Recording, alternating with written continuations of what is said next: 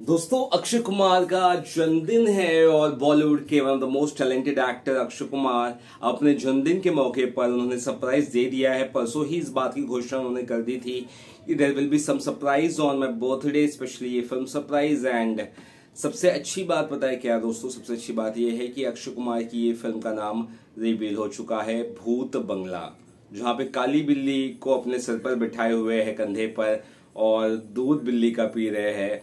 ऐसा कुछ नज़र आ रहा है इस मोशन पोस्टर में। 20 सेकेंड का मोशन पोस्टर है।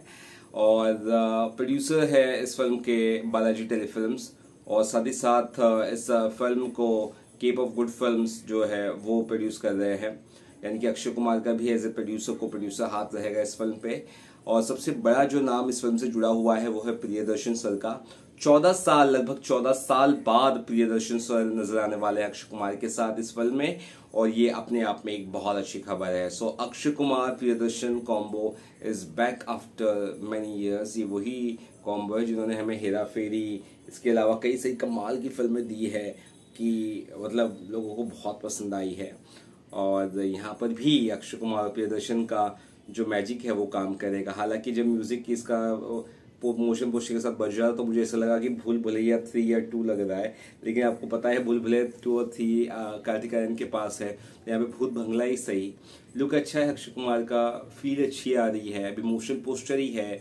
फ़िल्म की शूटिंग जल्द शुरू होने वाली ये अनाउंसमेंट हो चुकी है।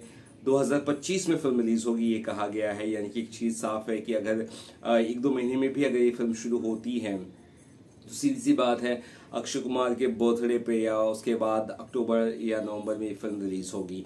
दोस्तों, अक्षय कुमार के फैंस के लिए मुझे लगता है बहुत अच्छी खबर है और मुझे भी ये बहुत अच्छी खबर लगी क्योंकि इस तरह का जॉनर अब चल रहा है, हॉरर कॉमेडी। तो हॉरर फैंटेसी कॉमेडी क्यों नहीं चलेगा आखिर? तो आई होप आपको वीडियो अच्छा दोस्तों, वीडियो अच्छा चैनल को ज़रूर सब्सक्राइब करिएगा। लव यू ऑल दोस्तों बाय टेक केयर और मैं चाहता हूँ कि अक्षय कुमार आज अपने बर्थडे पर एक नहीं, दो, तीन और अनाउंसमेंट ज़रूर करें।